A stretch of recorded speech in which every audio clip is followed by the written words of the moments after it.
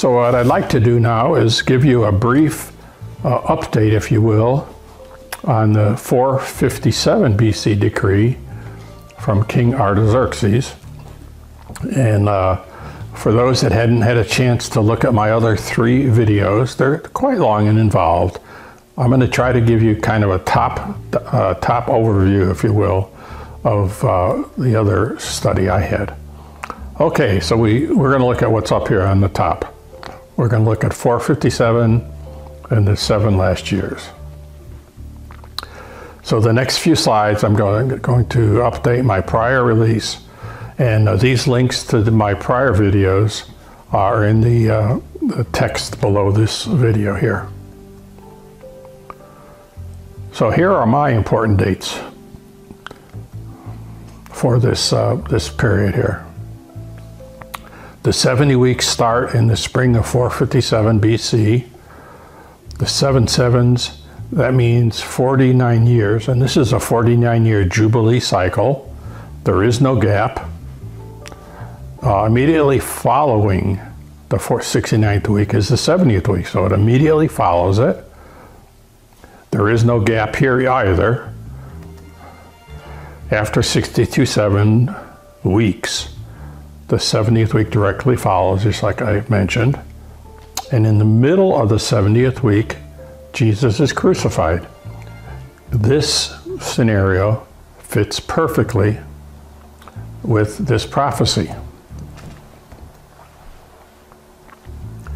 Now, uh, Pastor Jacob here, he recently updated his uh, thinking on this. This is from July, September 2014 from his newsletter. And let me read this for you. It says, different people have calculated differently depending on which of the three decrees Sir Robert Anderson, an astronomer and mathematician, was a believer and one of the first in the 19th century. They all came in within a year and a half of each other. The decrees of Artaxerxes, the husband of Queen Esther in the book of Esther, was 457 BC. Seven weeks later, that is seven years, seven weeks of years, or 49 years later, you have the restoration of Jerusalem completed in 408 BC. Then 62 times 7, or 434 years later, the Messiah would arrive in AD 27. I agree with that. Three and a half years later, the Messiah dies.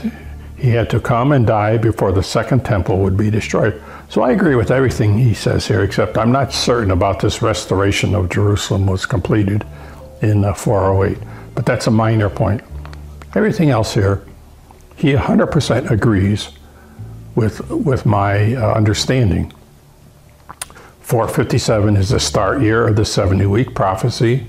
In 27 AD, Jesus started his ministry with his baptism and anointing by his Father. In the, uh, in the middle of the 70th week, Jesus is crucified in AD 30.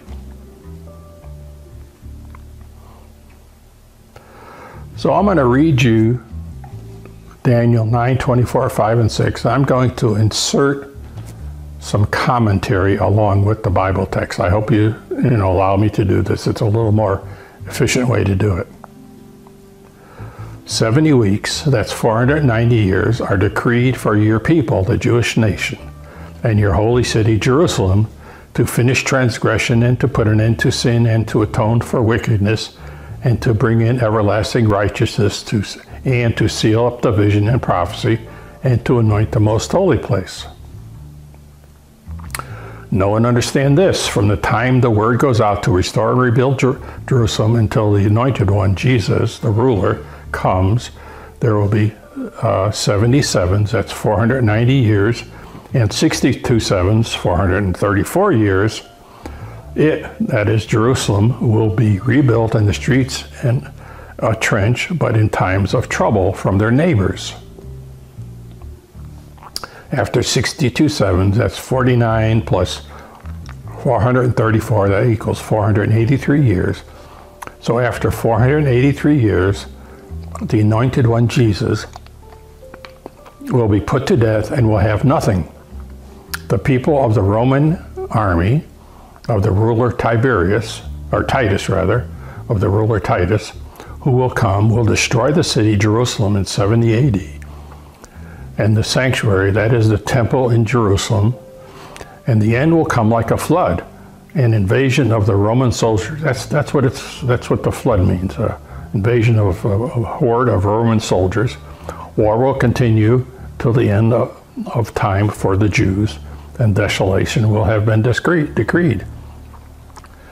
Verse 27 And Jesus will confirm a covenant with many for one seven, and in the middle of the 70th week, Jesus will put an end to sacrifice and offering in the earthly temple, and the temple, and at the temple, Titus will set up an abomination that causes desolation. That is the total destruction of the temple in, in, in Jerusalem until the end is decreed, is poured out upon him. So, this is my understanding of these four verses. So, here again, I think God gave us a huge clue to absolutely prove that 457 BC date is the correct date. He calls this seven sevens. So let's look at the seven sevens, the 49 years that start this prophecy. It's a 49 year Jubilee cycle. I'll show you what that means here in a second. The 457 BC is the only date that is a Jubilee cycle. In my full three part video teaching, I go into more detail on this proof, but for a brief overview, consider the following things. So here's the first week.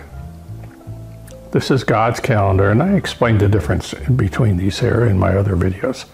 457, 56, etc. So we're counting down. So this is 1 7. So, what does 1 7 mean?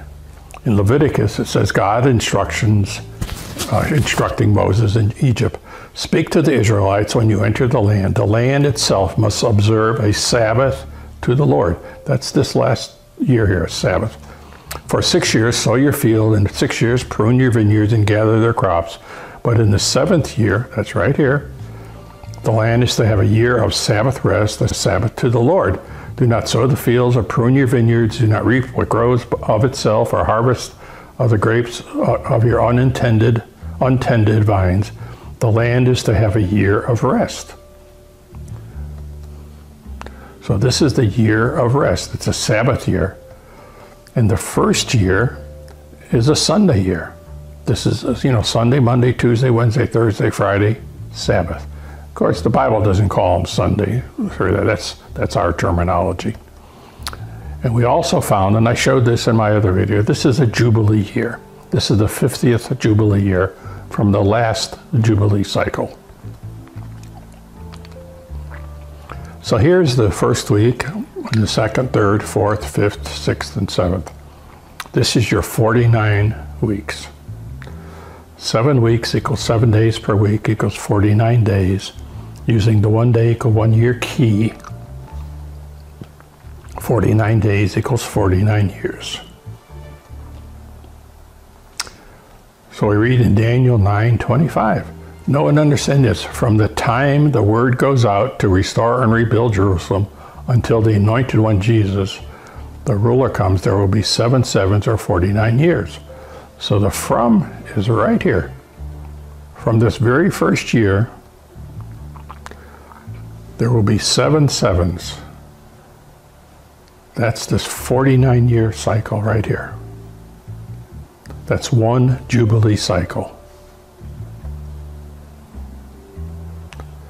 So here we are showing the full 70 weeks, if you will. This is the 483rd year, and I've, I've, I've, reduced this so we can see it on one little screen here. This is the 70th week in the middle of the week, which is a Wednesday year, that's AD 30, Jesus will be crucified. So the command to rebuild Jerusalem was issued in the spring month of Nisan, 457 BC, and that's in our Julian calendar. And Jesus was crucified in 30 AD. This prophecy fits this illustration perfectly. It's amazing. So you might ask, why did Ezra start rebuilding the walls and the gates of Jerusalem? Why did he do this? So in Ezra 7:11 we read, this is a copy of the letter King Artaxerxes had given to Ezra the priest. You are to take with you on your trip to Jerusalem silver and gold that the king and his advisors have freely given to the God of Israel. You and your fellow Israelites may then do whatever seems best with the rest of the silver and gold in accordance with the will of your God. And anything else needed for the temple of your God, you may provide from the royal treasury. So do whatever seems best, and anything else you think you ought to do, do it. So the thing that we kind of forget in today's uh, world is that in, in these old days, there was no state or national police to come to your rescue, to call on you to protect your town from thieves, marauders, and uh, other enemies. So how did cities protect themselves? Well, they built high walls around their cities with gates that could be closed to uh, lock off lock off the city from their their uh, predators. Here's a little picture of a modern day uh, Israel, and what do you think that is right there? That is a wall. That's the city wall around Jerusalem. provides protection from invasions from tribes and robbers, and this was a common practice in the old days. If you've ever traveled throughout Europe, especially, you'll see that all the city centers all had walls around them. So my thinking on the wall goes kind of like this. Uh, Artaxerxes gave gold and silver in 457 BC to rebuild and decorate the temple, and Ezra knew that if the city was not protected by a high wall and gates, that robbers would come and attack and rob the temple. So I believe Ezra felt that the king, uh, that King Artaxerxes gave him latitude to spend the rest of the gold and silver on whatever seemed best. And he thought protecting Jerusalem by building a wall around it would protect the gold and silver that he was using to rebuild the temple. So, uh, you know, the temple in Jerusalem was adorned with many valuable items of uh, silver and gold says in Ezra 7 27, Blessed be the Lord of God of our fathers, which, which hath put such a thing in this decree in the king's heart, to beautify the house of the Lord, which is in Jerusalem. So at this time, the walls of Jerusalem and its footings were in rubble. So the question is this Do we think it's reasonable to think that Ezra would rebuild the God's temple and adorn it with gold and silver without a wall around the city to protect the temple and its contents from enemies and robbers. I think this is very reasonable to believe this. Because if they if they were to redo the temple with with the neighbors that they had around there, they would just come in and steal it. And we find that Jerusalem's neighbors were troublemakers. Now, I'm not going to read this. This is in Ezra 7:22 uh, all the way down to uh, through 19 or 21 right here.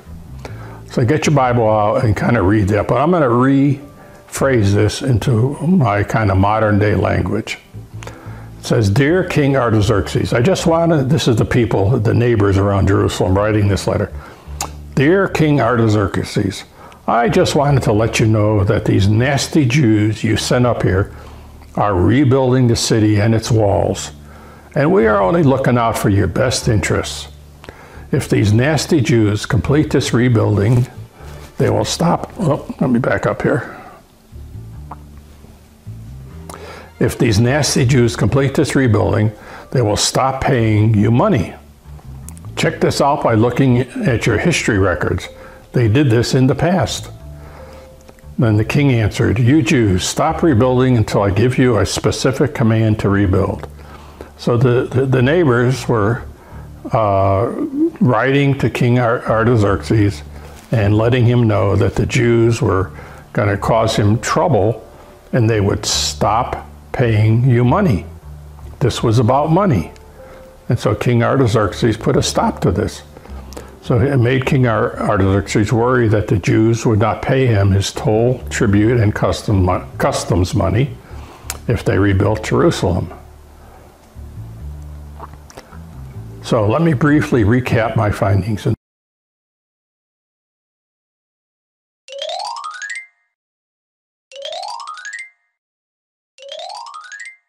Recap my findings in this whole study.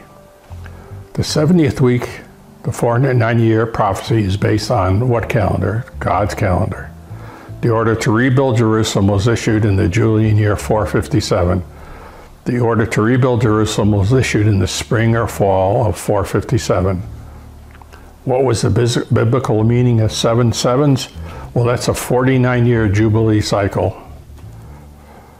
Was the order to rebuild Jerusalem issued in a Sunday year? Yes, it was the first day of the Jubilee week. Was the order to rebuild Jerusalem issued in a Jubilee year? Yes, it's also the 50th year of a Jubilee cycle.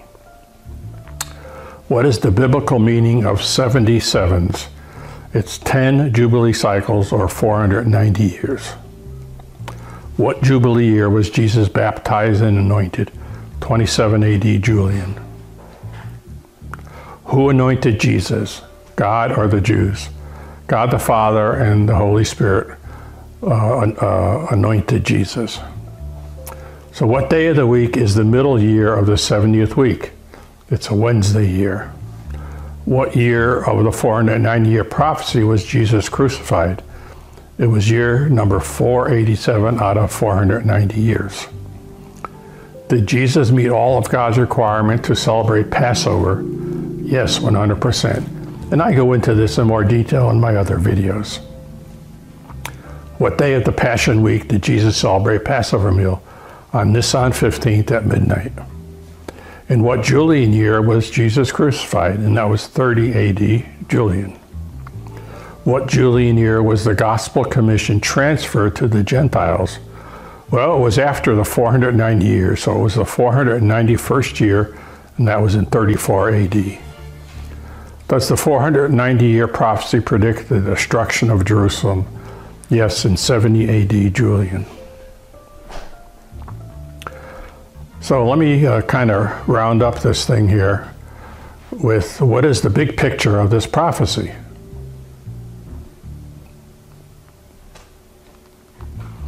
Well, we've looked at the seven sevens, the 62 sevens, and the last seven, the 70 week prophecy. And we find that only 457 fits the rebuild cycle. This only 457 fits the seven sevens. Only 457 is a Jubilee year. Only 457 is a Sunday year. Pilate was in power from 26 to 36 AD. He was not in power during 38 AD. Jesus was anointed by God in 27 AD. Jesus was baptized by John the Baptist in 27 AD. Jesus was crucified in 30 AD. And in my other videos, I show this from U.S. naval data that this was the only year that he could have been uh, crucified. 80 70, Jerusalem was in ruins, it was sacked by the Romans, and then the Gospel Commission was transferred to the, to the Gentiles. So there's not even a hint in the Bible that the 70 weeks does not immediately follow the 62 sevens. So this is my overall summary. This is one compact very important prophecy that prophesizes the very year that Jesus was going to be crucified. So, how does this fit in with everything else? Well, in Daniel 8, we read about a 2,300 evenings and mornings. Says, I will take 200, 2,300 evenings and mornings, that's 2,300 years, then the heavenly sanctuary will be reconcentrated, consecrated, that'll be cleansed. So this 49 years was cut off of this larger 2300 year prophecy. And that's the study that we just looked at now. 77s are decreed or cut off from the 2300 years in Daniel 8 for your people to repent. So from 457, we go 2,300 years over to 1844. Today we're in a short delay before Jesus comes again. So we read Daniel 9:25. This was the start of the prophecy. And in Daniel 8, this was the end of the 2300 years. So we read this kind of an interesting quote from uh, C.S. Lewis. He says, We all want progress, but if you're on the wrong road, progress means doing an about turn and walking back to, in the right road. In that case, the man who turns back soonest is the most progressive. Haven't we all done this? Taken out our map, and we thought we were making progress, we were on the right road, but we found out we were on the wrong road. So some people that view this video might realize that they're thinking on the uh, coming rapture that they believe in, and that this all started with 445 BC. They may realize that they were on the wrong road. And there's nothing wrong with, you know, walking back in the right road and they're, they, according to C.S. Lewis, they're the most progressive. They're the smartest ones. So I'm going to end this study at this point. And as I've already mentioned, please view my other three videos, and the links are below for a more comprehensive study on Daniel 9. Thanks for taking the time to view this.